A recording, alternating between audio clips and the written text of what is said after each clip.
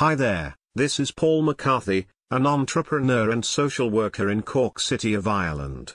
He and his wife, Jackie McCarthy are working on many projects to help the poor people of South Africa, Belarus and Madagascar. Being a successful entrepreneur, Paul McCarthy has encountered many challenges in his life, and he did his best to help people, by guiding them on how to tackle such challenges.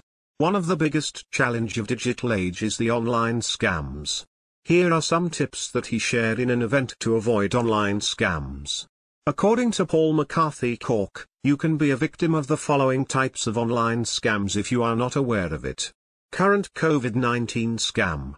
Scammers are taking advantage of coronavirus spread.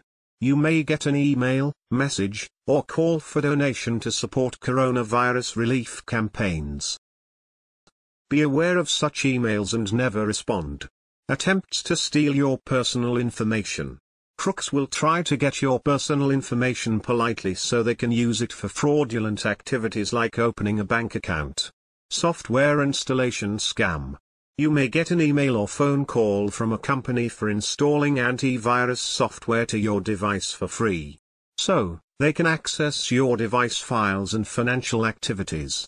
Fake charity. Someone asks you to make a donation for a charity firm that actually does not exist. Investment scam.